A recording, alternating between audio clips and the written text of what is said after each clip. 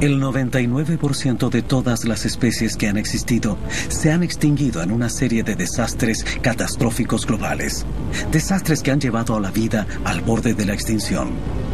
Pero sin ellos, nosotros simplemente no estaríamos aquí. Justo luego de su nacimiento, un evento violento en el sistema solar cambió la Tierra para siempre. Dos planetas colisionaron en el frío y vacío espacio, y uno de ellos era el nuestro. El impacto casi destruyó nuestro mundo, pero al mismo tiempo lo convirtió en nuestro hogar.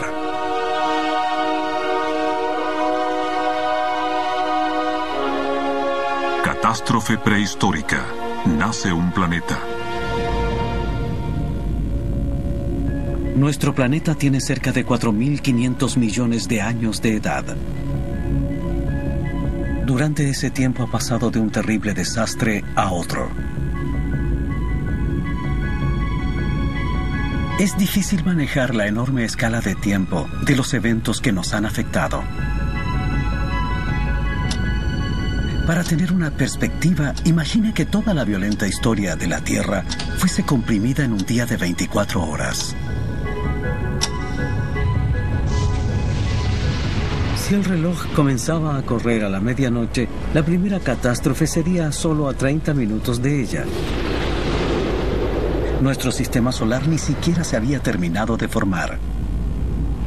Veinte jóvenes planetas orbitaban una nueva estrella, nuestro Sol, y uno de ellos era la Tierra. Su superficie era como una visión del infierno. No había agua, no había oxígeno y el planeta completo estaba cubierto por tóxicos gases volcánicos. Pero ahora, antes de que la Tierra tuviera la oportunidad de estabilizarse, colisionó con otro joven planeta que orbitaba alrededor del Sol en un impacto de proporciones bíblicas. La colisión fue tan catastrófica que casi aniquiló a la joven Tierra. Pero en vez de destruirla, provocó una cadena de eventos que transformó el planeta y gatilló el nacimiento de la vida. Sin este desastre, ninguna vida, incluyendo la nuestra, estaría aquí. Pero ¿cómo sabemos lo que ocurrió? ¿Y cómo esta colisión provocó el desarrollo de la vida? El astrónomo Bill Hartman ha dedicado su vida al estudio de los eventos en los principios del sistema solar, pero es difícil con tan poca evidencia.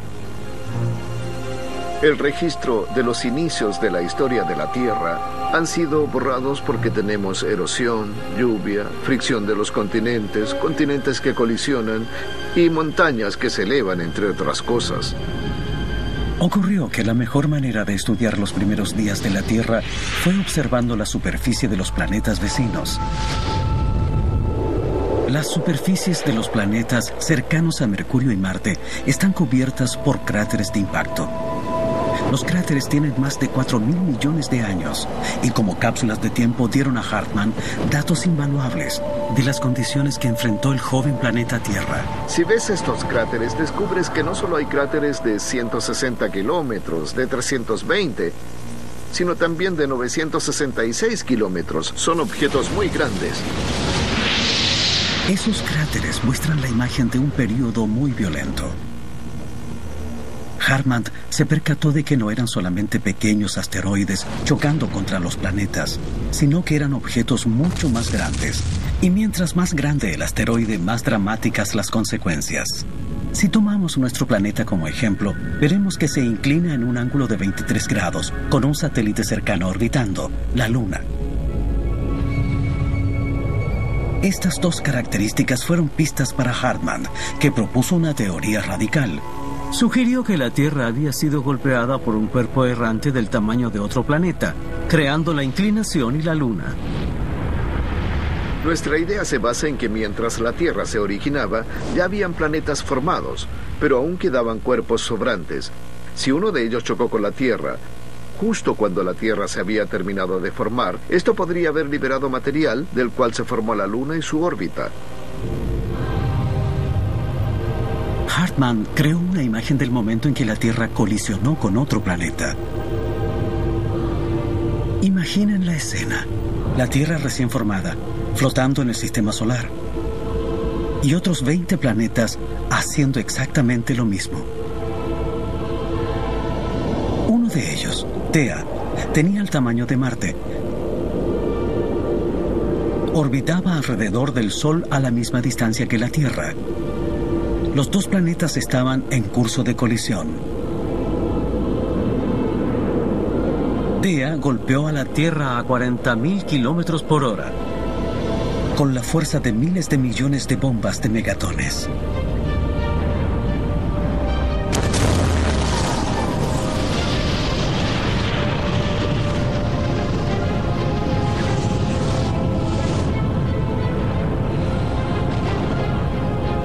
Impacto arrancó enormes secciones de la corteza terrestre.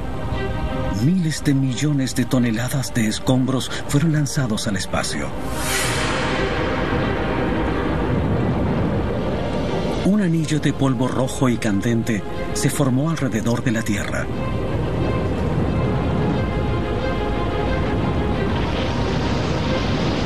Durante los siguientes 100 años, las rocas y el polvo lentamente se agruparon en una masa sólida, 50 veces más pequeña que la Tierra.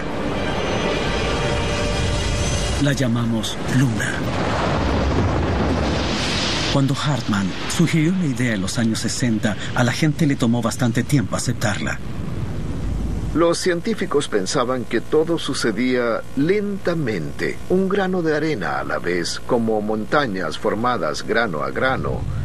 Pensar en algo tan colosal como la luna formándose como el resultado de un evento particular era difícil de asimilar para las personas.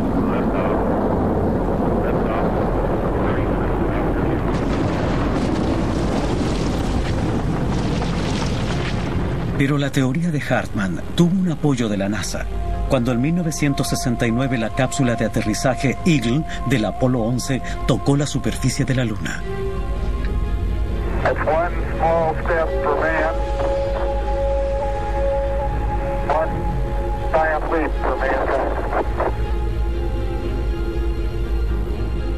Los astronautas americanos hicieron seis visitas a la Luna. Exploraron su superficie, condujeron alrededor de sus cráteres y trajeron 381 kilogramos de rocas lunares. Por primera vez, los científicos pudieron descubrir de lo que estaba hecha la Luna. Los resultados fueron sorprendentes. Las muestras lunares tenían un notable parecido químico con la capa superior de la corteza terrestre. La mayoría de los investigadores encontraron este descubrimiento interesante, pero para Hartman era evidencia vital. Así que tenemos muchas rocas en la corteza y se produce este gran impacto que golpea todas estas rocas. Todo este material va hacia el espacio y forma la Luna. Pero muchos científicos todavía estaban escépticos. No podían ver cómo un impacto podía crear a la Luna y a la Tierra como la conocemos hoy. Había personas que me decían, deberíamos evaluar todas las teorías primero porque esta idea es extraña. Hartman finalmente obtuvo la prueba que quería después de una reunión en una conferencia con la astrofísica Robin Carnap. Ella usaba modelos computacionales para estudiar las lunas de Saturno. Bill Hartman se me acercó después de mi charla y me preguntó, ¿ha pensado usted aplicar sus modelos acerca de cómo se formaron las lunas de los anillos de Saturno al origen de nuestra luna? Y le dije, no. Así que ella utilizó el mismo software para recrear al joven sistema solar. Luego representó una colisión planetaria de la manera que Hartman había sugerido. Una que dejara a la Tierra y a la Luna como las conocemos hoy. 4.500 millones de años atrás terminaba la formación de la Tierra. Observemos a este pequeño planeta, el planeta de la derecha, que está a punto de colisionar a la Tierra, representada por el planeta más grande a la izquierda. La colisión se lleva a cabo y al recibir el impacto se genera una explosión y podemos ver que el planeta que impacta es totalmente destruido por la colisión. Los modelos de Canap demostraron lo que pudo haber sucedido durante la colisión. Tea, el planeta que impactó, fue completamente aniquilado. La Tierra sobrevivió, pero por muy poco. El impacto fue tan grande que distorsionó la forma del planeta. La Tierra respondió a este impacto como una masa de roca derretida. Y mientras se produce el impacto, se genera una especie de onda como la que obtienes cuando lanzas una piedra en un ángulo oblicuo sobre un lago, y esa onda se propagó por la superficie de la Tierra. La colisión creó una onda de lava fundida. Esta colisión fue increíblemente violenta, tan violenta que había energía suficiente como para derretir la Tierra. De hecho, al final de este impacto, la Tierra fue cubierta por una atmósfera de roca vaporizada. Millones y millones de toneladas de escombros lanzados al espacio. Aquí vemos parte del planeta impactado, transformado ahora en este largo brazo de material, lo que produce un disco que vemos casi en el límite desde esta posición, y es de este disco que la Luna se formará posteriormente. Los modelos de Canap respaldaron la teoría de Hartmann y muestran que la Luna se forma de los escombros de Tea y de la Tierra. Así que llamé a mi colega y le dije, no vas a creer esto, pero lo intenté. Intenté con este planeta del tamaño de Marte, con un ángulo de impacto de 45 grados y todo funcionó. Y él dijo, revisémoslo otra vez. Lo hice y repetí muchas simulaciones y puedo decir que estoy segura que este tipo de impacto es el que nos entrega el sistema Tierra-Luna de hoy en día.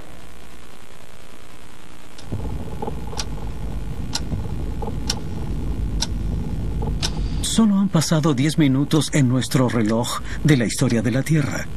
30 millones de años en el tiempo real el período más importante en la historia de nuestro planeta. La Tierra se recupera de su colisión con Tea y los escombros del desastre comienzan a formar la Luna.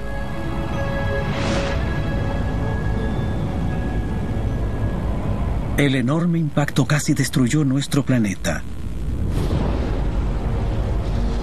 Pero de esta catástrofe se produjo un nuevo comienzo provocó una cadena de eventos que transformaría a la Tierra de una imagen del infierno a un azul y verde oasis que hoy llamamos hogar. La colisión fue tan grande que alteró la rotación de todo el planeta. Para entender esto, los científicos lograron reconstruir estos eventos, comenzando por el momento inmediatamente después del impacto. En Ithaca, Nueva York, la paleontóloga Judith Nagel Myers busca pistas que podrían revelar cómo se veía la Tierra justo después del impacto. No hay ninguna evidencia en la Tierra del período posterior a la colisión, así que los científicos están buscando constantemente nuevas formas de mirar hacia atrás en el tiempo. Nagel Myers usa corales fosilizados esta fue una vez un área ancestral. Los corales fosilizados tienen solo 400 millones de años, pero poseen una pista vital de cómo eran las condiciones en la Tierra hace 4.500 millones de años, cuando se formó la Luna. Lo que me gusta de los fósiles es que los encuentras y te abren una maravillosa ventana en el tiempo. Con solo mirar sus restos y sus esqueletos podemos reconstruir el entorno que había aquí antes, mucho antes que los humanos existieran en la Tierra. Los fósiles de coral tienen una particular propiedad que permite tomar fotografías día tras día de las condiciones de la Tierra en sus orígenes. El coral construye capas de piedra caliza como protección, una nueva capa para cada día del año. Es posible ver el mismo proceso en los arrecifes de coral en la actualidad. Si miras bien los corales modernos, puedes ver pequeñas líneas que construyen cuando crecen. Es similar a los anillos de los árboles. Actualmente sabemos que cada una de estas líneas representa un día. Las capas que crecen diariamente crean un anillo más grande que representa un año. Si cuentas estas capas diarias en los corales modernos, puedes llegar a la cantidad de 365 líneas por año. Y esa es la clave. Los corales fosilizados de 400 millones de años de edad no tienen 365 líneas. Tienen 410 por año. Cuando estos corales estaban vivos en los océanos antiguos, hace 400 millones de años, un año no tenía 365 días, tenía 410 días. Pero aunque se mida en días u horas, la órbita de la Tierra alrededor del Sol siempre toma el mismo tiempo. Un año. La única explicación para más días en un año es que hace millones de años cada día era más corto. Esto significa que en esos tiempos, cuando este animal estaba viviendo en el océano, el día tenía menos horas de las que tiene hoy. Hace 400 millones de años, el día tenía 21 horas. Y si el día era más corto, entonces la Tierra estaba girando más rápido. Los científicos usaron la velocidad de rotación de 400 millones de años atrás para determinar qué tan rápido giraba la Tierra justo después de la colisión. Hace 4.500 millones de años, el día solo tenía 6 horas.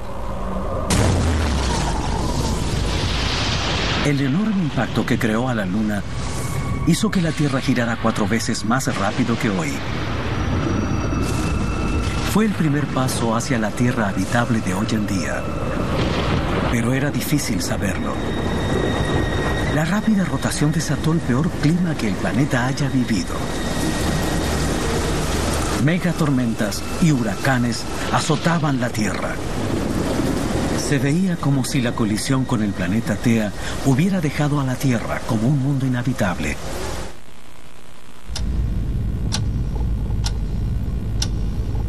Doce minutos pasada la medianoche en nuestro reloj. Son 4.500 millones de años atrás. Cometas congelados caían desde el espacio. Era un bombardeo tremendo, pero no era un desastre. De hecho, era una bendición. El hielo se derritió y combinado con el agua condensada dentro del planeta, creó los primeros océanos. Pero la joven Tierra era todavía un lugar hostil y violento. Giraba cuatro veces más rápido que hoy. Lluvias y vientos de 804 kilómetros por hora azotaban la superficie. La atmósfera era letal debido al dióxido de carbono y la lluvia ácida. Parecía que no había manera de que naciera la vida. Salvo por una cosa. El alejamiento de la luna. Esta no era la luna que conocemos hoy. Estaba diez veces más cerca de la Tierra. Dominaba el horizonte era otro resultado del enorme impacto, pero esta vez era algo bueno. Gracias a que la Luna estaba más cerca, su atracción gravitacional era mucho más grande. Y lo que atraía más que nada eran los nuevos océanos.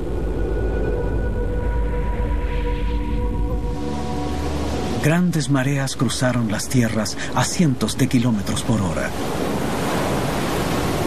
Puede pensar que esto hizo difícil abrirse paso a la vida, pero está equivocado. De hecho, ayudó a comenzarla.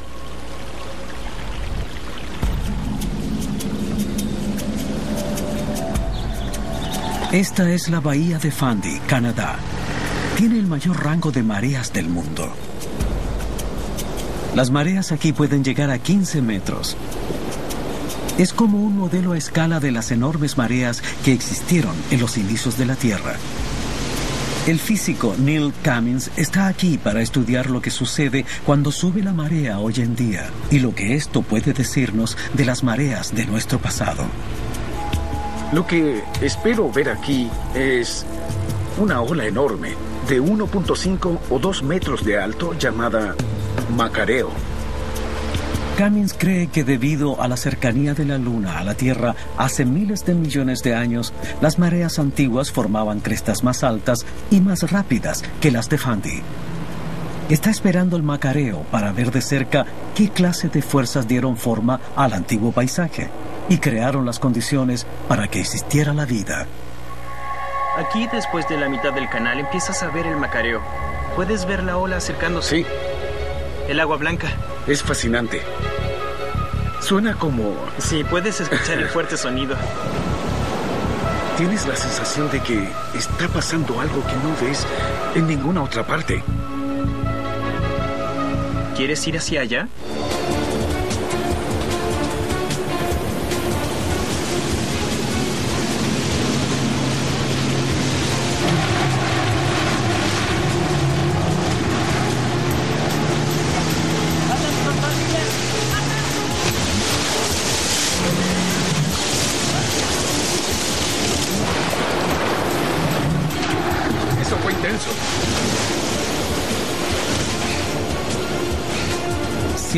Millones de toneladas de agua marina entran y salen de la bahía cada 24 horas, haciendo que el macareo de Fundy sea uno de los más grandes del mundo. Las aguas en movimiento golpean el borde de la bahía. Las mareas golpean la arena, minerales y otros materiales y los acarrean hacia el mar.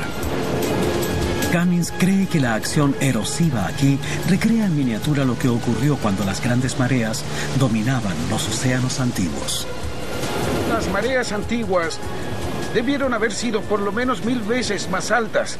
Hay una tremenda cantidad de energía en estas mareas. Pero nada comparado con lo que era en ese tiempo.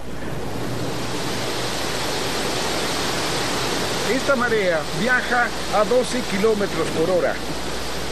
Las mareas antiguas debieron viajar con una velocidad de unos 480 kilómetros por hora y debieron llegar mucho más lejos dentro de la Tierra, más rápido y causando mucho más daño a su paso.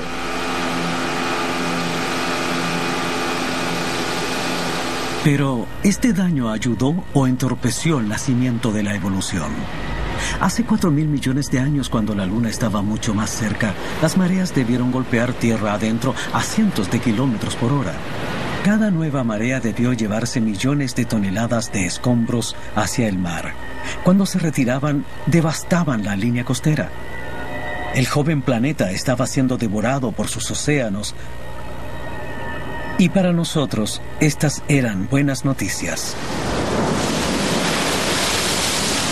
Porque el material que la marea llevaba de las tierras al océano creó un entorno perfecto para el surgimiento de la vida. Para que surja la vida necesitas una gran cantidad de minerales en los océanos y que estos sean libres de mezclarse e interactuar. La única manera de que la Tierra pudiera obtener eso era de las enormes mareas que provocó la Luna cuando estaba mucho más cerca de la Tierra.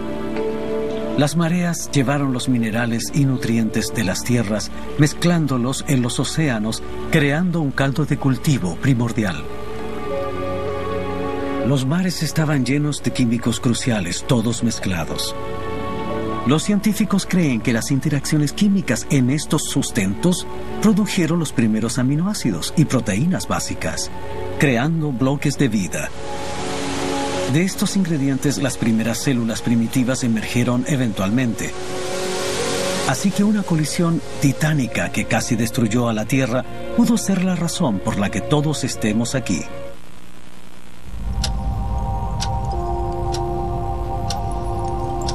...3.20 de la mañana en nuestro reloj de la historia de la Tierra. 500 millones de años han pasado desde la colisión que creó a la Luna. Los primeros bloques de vida se han formado en las profundidades de los océanos gracias a las monstruosas mareas provocadas por la Luna. Pero los mares eran muy violentos para la evolución incluso de pequeños organismos unicelulares. Algo tiene que haber sucedido para calmar al planeta y permitir que los primeros signos de vida evolucionaran.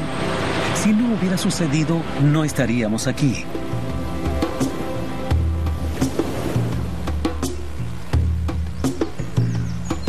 Este es KwaZulu Natal, en Sudáfrica.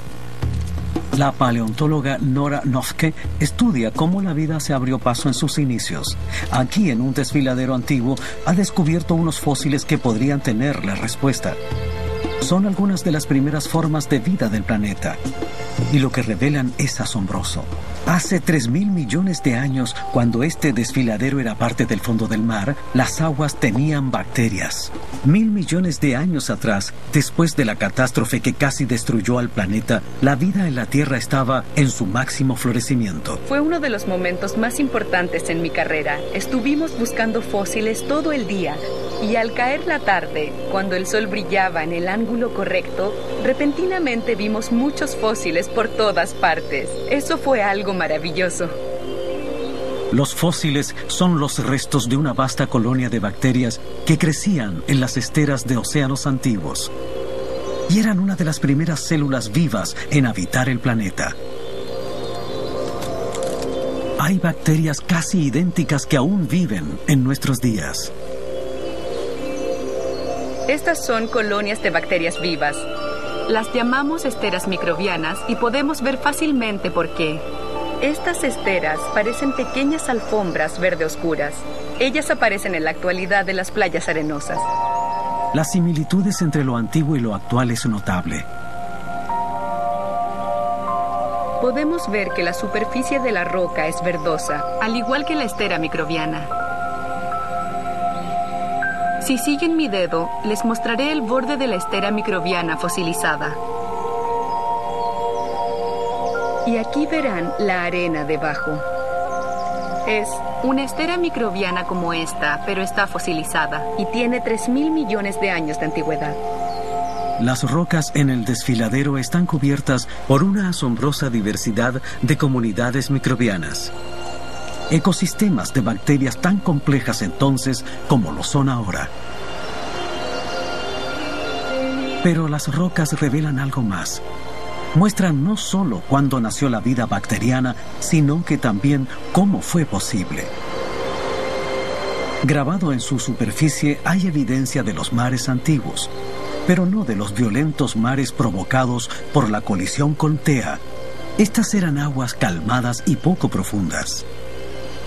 Primero apareció un afloramiento y en los lados vi muchas marcas diferentes, las que se ven exactamente como se ven hoy en día.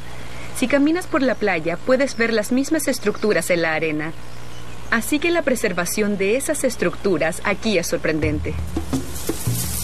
Se ve como si la marea se hubiera recogido hace minutos, pero estas marcas tienen 3 mil millones de años. Son las fotos fosilizadas de un océano antiguo, traslavadas suavemente sobre las costas sin señales de mareas gigantes ni vientos huracanados.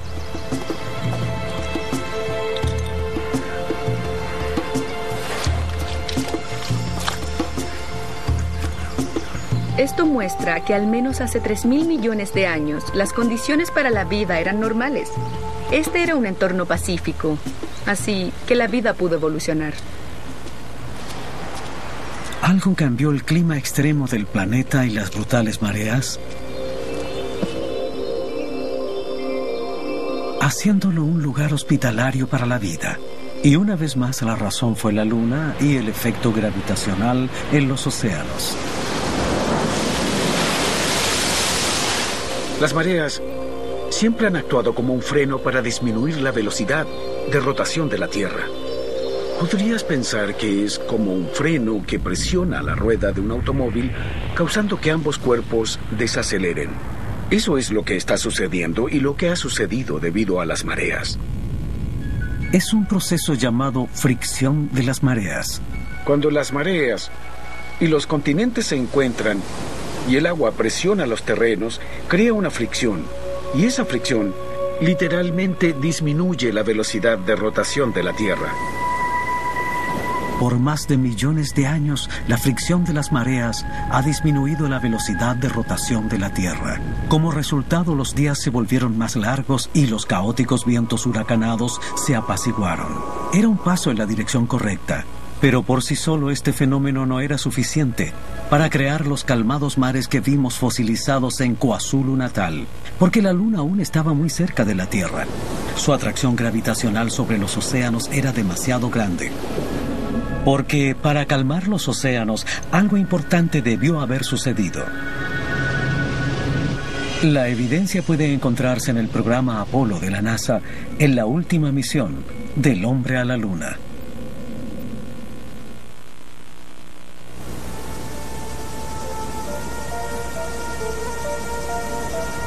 Observatorio McDonald en el oeste de Texas.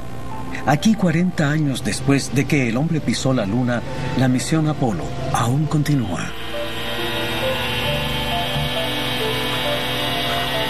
El ingeniero de la NASA Jerry Wyant realiza un viaje diario a su telescopio láser para continuar el trabajo que comenzaron los astronautas hace décadas. Su misión es medir la distancia de la Luna a la Tierra. Somos la última misión que aún sobrevive del proyecto Apolo. La mayoría de la gente cree que el proyecto Apolo murió para siempre, pero se sorprenden cuando les digo que lo que hago es enviar un láser a la Luna. Cuando los astronautas aterrizaron en la Luna, dejaron la bandera americana y algo más. Reflectores. Casi diariamente Jerry Wyant y su colega apuntan su láser a uno de los reflectores lunares. Están midiendo la distancia precisa entre la Luna y la Tierra. Este es un láser de mil millones de watts. Y lo que hacemos es dirigirlo al reflector en la luna y medimos el tiempo que tarda la luz en llegar desde aquí a la luna y regresar. Esos son nuestros datos.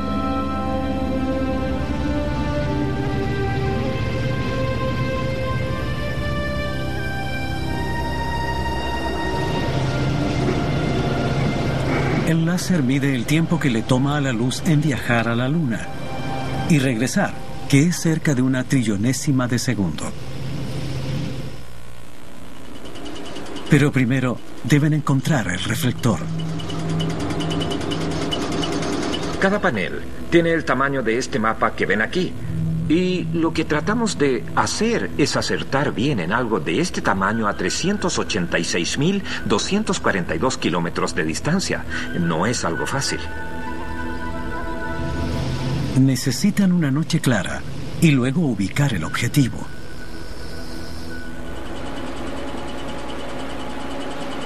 Es Todos se ven parecidos, muy ¿cierto? difícil, Sí, es muy fácil perderse. A veces toma cuatro horas ubicar con precisión el reflector.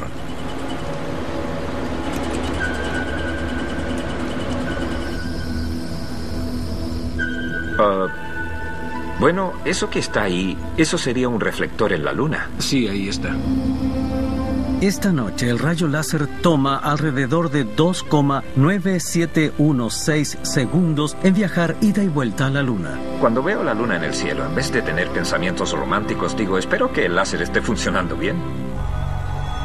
Puede que no sea romántico, pero es asombroso. Cada año, al rayo láser de Wind le toma un poco más de tiempo en reflejarse, porque cada año la Luna está un poco más lejos. Una de las razones por la que los científicos quieren nuestros datos es para confirmar sus sospechas de que la Luna se está alejando de la Tierra y usan nuestros datos para reafirmar la información, confirmando que sí, se está alejando. La Luna se está alejando de nosotros 3.8 centímetros cada año. Y es esto lo que sostiene la clave para entender el por qué los océanos se calmaron y emergió la vida. Hace 3.500 millones de años la Luna estaba a solo 24.140 kilómetros de la Tierra, provocando mareas enormes. Pero estas mareas alejaban también a la Luna. Eran tan grandes que tenían un efecto gravitacional propio, lo que comenzó a afectar a la Luna que las había creado. La gravedad del agua actuaba sobre la luna, que a su vez atraía a estas aguas y estas aguas empujaban a la luna al mismo tiempo entregándole energía. Mientras la Tierra rota, aleja a la Luna al igual que un atleta lanza un martillo. Puedes pensar en el sistema Tierra-Luna como si estuvieran bailando. Mientras la Luna crea las mareas en la Tierra, la Tierra está disminuyendo su velocidad de rotación y las mareas causan que la Luna obtenga energía para viajar con movimiento espiral.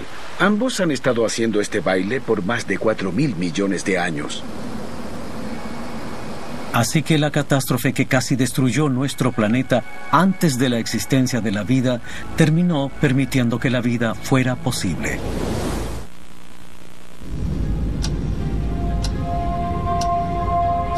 Ocho diez de la mañana en nuestro reloj planetario de la historia de la Tierra.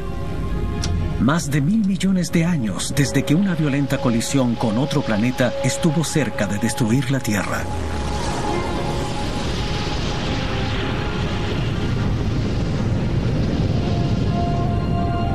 El impacto creó a la Luna y gatilló una cadena de eventos que llevó a la vida bacteriana a tener su propio lugar en los océanos.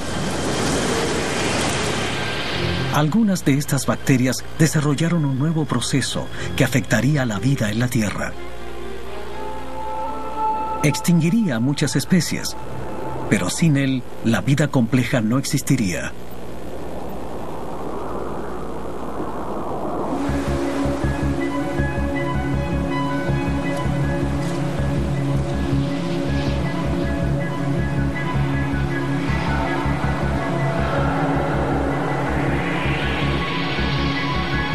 Este árido paisaje es el desierto en el norte de México. Es una ventana al pasado. Es uno de los únicos lugares del mundo donde podemos tener una visión de cómo pudo haber sido la Tierra hace dos mil millones de años. Un planeta en la encrucijada de la evolución. La bióloga Janet Seifert estudia las bacterias que viven en estos charcos le entregan un entendimiento profundo, único, en cómo las bacterias han cambiado a la Tierra para siempre. Al salir de estas piscinas naturales puedes ver la evidencia de las comunidades microbianas a simple vista. Eso es muy similar a lo que fue la Tierra en sus principios. La Tierra joven estaba dominada por bacterias, no había grandes animales ni plantas. Así que podemos decir que esto es muy similar a la joven Tierra. Seifert está interesada en estos curiosos conglomerados de piedra caliza.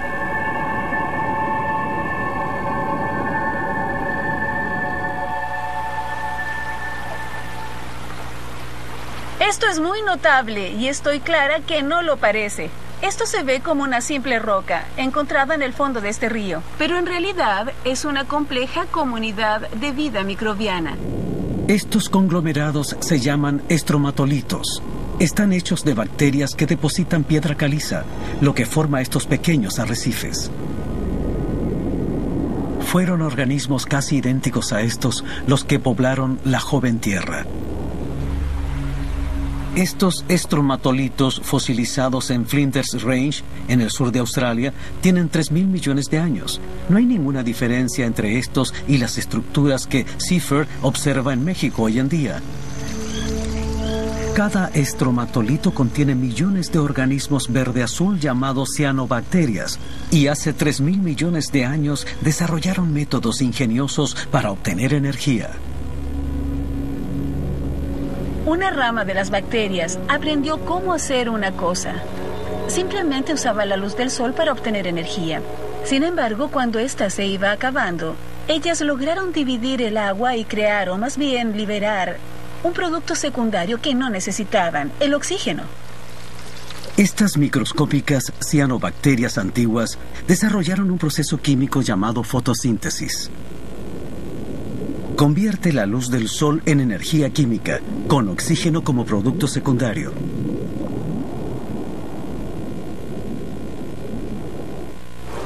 Fue una revolución biológica y cambió el planeta para siempre. Las cianobacterias bombeaban oxígeno al océano y luego a la atmósfera. Si no hubiesen desarrollado la fotosíntesis hace 3 mil millones de años, casi no habría oxígeno en la atmósfera hoy en día. Sin las cianobacterias nunca habríamos existido. Ellas son la razón por la que hoy respiramos oxígeno. Una vez que las cianobacterias lograron producir oxígeno como producto secundario, nuestro planeta cambió para siempre. Cambió la forma en que la biología iba a evolucionar y cambió por completo la atmósfera. Y estas cianobacterias son los ancestros de todas las plantas en el mundo de hoy. La fotosíntesis fue increíblemente exitosa.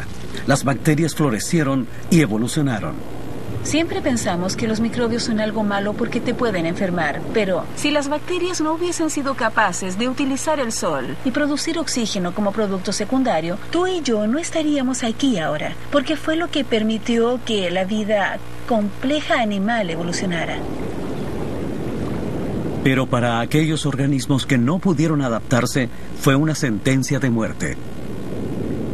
Cuando se creó por primera vez, el producto secundario oxígeno era un veneno para la mayoría de la vida en el planeta, así que fue una cosa devastadora. Toda la vida existente tuvo que aclimatarse al hecho de que iba a haber, de que habría oxígeno en la atmósfera. Pero algunas bacterias aprendieron cómo manejarlo. Y son esos sobrevivientes los que nos trajeron hasta aquí. De las mayores innovaciones que han sucedido en 3.800 millones de años, esta tiene que estar en el primer lugar de la lista como una de las mejores para nosotros, los humanos. Para las 8 con 12 minutos de la mañana de nuestro reloj, la atmósfera tenía oxígeno y los océanos estaban rebosantes de bacterias. Comienza la evolución. La vida había nacido, a pesar de que todo había comenzado con una catástrofe. Todo parecía tan lógico, tan inevitable, pero de hecho no fue así. La colisión posiblemente es la única razón por la que se desarrolló la vida. Y si hubiera sido levemente diferente, no habría nada aquí. Si consideras que todos los diferentes impactos que pudieron haber ocurrido y que han resultado en sistemas Tierra-Luna no son para nada habitables como el nuestro, es importante pensar que tuvimos suerte. Y ese es el punto. Tuvimos suerte. No solo con ese gran primer impacto, sino que también de formas incontables durante miles de millones de años. Debemos darnos cuenta de que las catástrofes han jugado un rol mucho más importante en la evolución de la vida en la Tierra de lo que creíamos. Debemos darnos cuenta de que estamos al final de esta larga cadena de eventos si esto hubiera sido diferente, yo no estaría sentado en esta roca. Solo hay una conclusión. No estamos aquí porque hicimos algo correcto. Estamos aquí porque somos afortunados. La colisión con TEA fue solo una de las muchas posibles opciones que se dan en la historia. ¿Realmente te hace pensar que esta secuencia de eventos aleatorios completamente única fue necesaria para darnos la Tierra que conocemos hoy. Y si alguno de estos eventos hubiese sido diferente, no estaríamos aquí. Esto te entrega una apreciación de que una catástrofe es siempre un comienzo. La colisión fue el comienzo de un nuevo orden. Provocó que la Tierra se distinguiera de los otros planetas en el universo conocido y comenzó el largo y difícil camino hacia la vida como la conocemos hoy. Sin ella, probablemente no estaríamos aquí.